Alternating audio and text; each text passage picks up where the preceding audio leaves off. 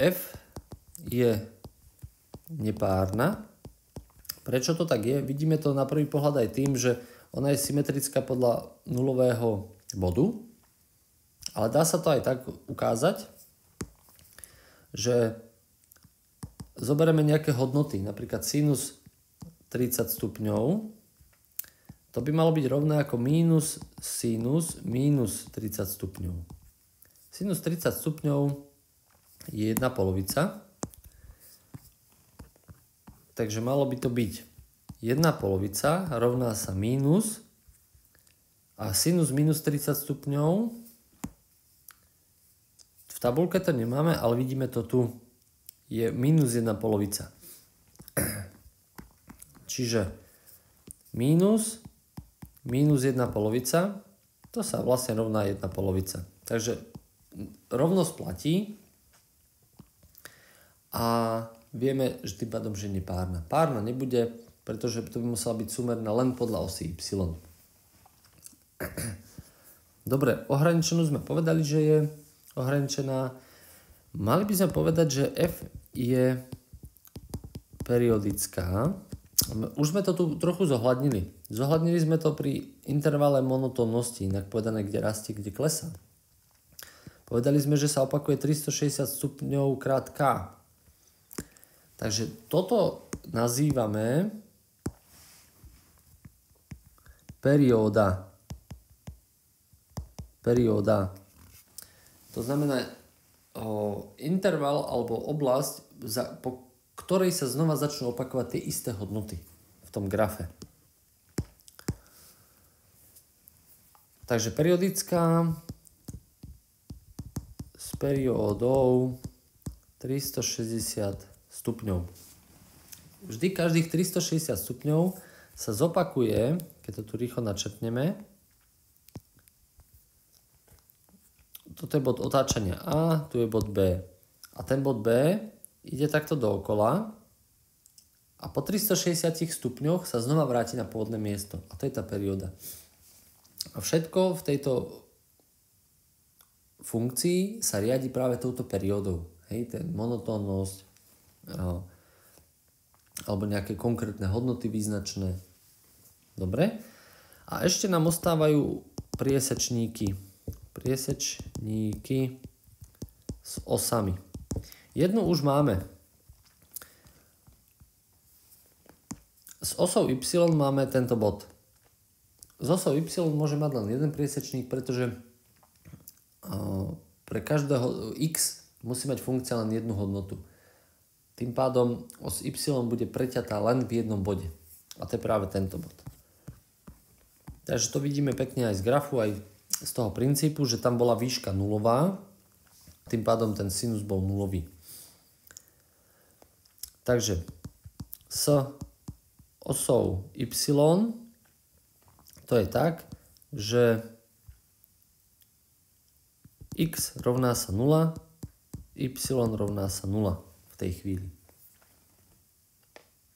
Jak povedané, y rovná sa sinus 0 stupňov. A to je 0. Dobre? A s osou x tam znova očividne bude vyskakovať perióda, nejak pravidelne, ale už to nebude celý kruh, lebo ako rastúca časť funkcie, tak i klesajúca časť funkcie ju pretína. Tým pádom bude tam asi niečo iné ako celá perióda, celý, celá obrátka 360 stupňov. Všimnime si 0 až 180 stupňov, to znamená pol obrátky.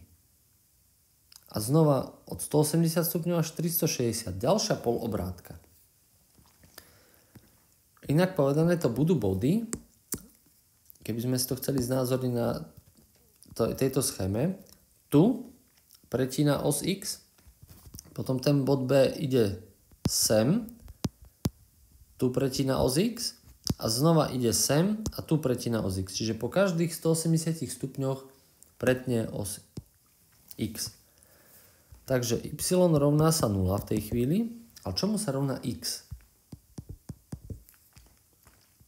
x rovná sa ľubovoľný násobok tejto vzdialenosti 180 stupňov očividne. Inak povedané, 1 krát 180 stupňov, alebo dokonca aj 0 krát 180 stupňov, dostaneme sa do stredu súrodenicového systému, alebo minus 1 krát 180 stupňov sa dostaneme do minus 180 stupňov. Takže je tam očividne 180 stupňov a krátka Pričom to káčko je ľubovoľné celé číslo. Takže priesečníky z osob x majú tieto súradnice. Xová sa variabilne mení a y ostáva 0. To je logické z toho, že pri, pri priesečníkoch vždy tu je nulová xová súradnica, tu je nulová y. Vždy pri priesečníkoch je nulová jedna zo súradnic. No, a keď tak pozerám na to, čo som chcel ešte povedať, tak je to asi všetko. Takže len taká rýchla rekapitulácia.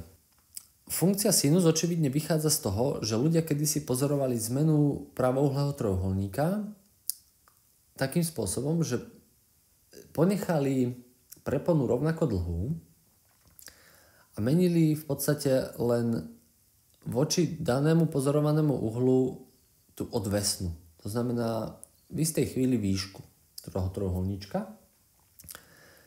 A ako sa tá výška vlastne mení vzhľadom na ten zmenený uhol. A toto keď skúmali, bádali, tak prišli na to, že vlastne má to istú pravidelnosť v sebe a keď potom Ujo Descartes vymyslel Sorencovú sústavu,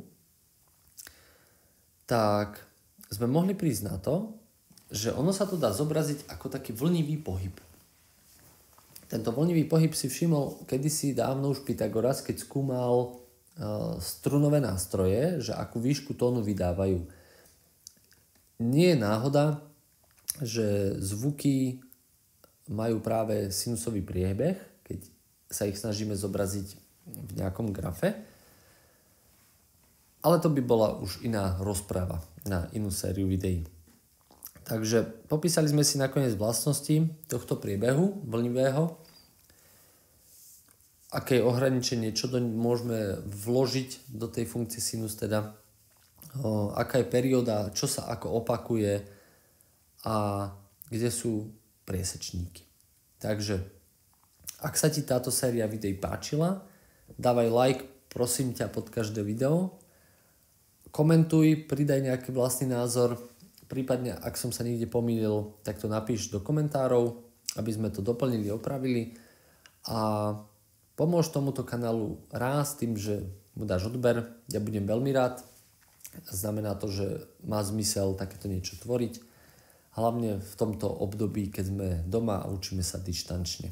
Takže maj sa pekne, čau.